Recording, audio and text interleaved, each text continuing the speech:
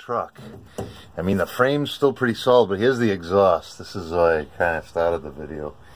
The tailpipe's pretty rusted out. You got a couple, uh, probably just better off just getting a muffler and cat back. And uh, that's the muffler, that's it. And you can see it's just a straight pipe right to the front. So uh, the rust underneath really isn't uh, isn't as bad as you thought. It's still all body stuff, you know.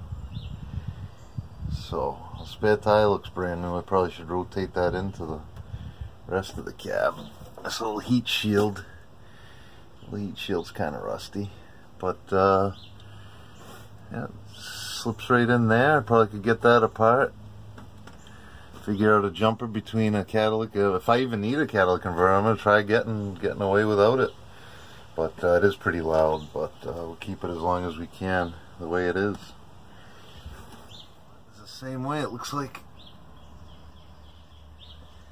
I mean, the heat shield's there for the uh, catalytic converter, so that's where it goes. So it looks like it was just a just a pipe thrown in, and uh, it looks like it's a three-inch pipe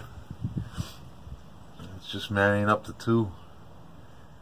I'm going to get a closer look at that to see how that's mounted. I might just be jammed on there. Not even a, a clamp.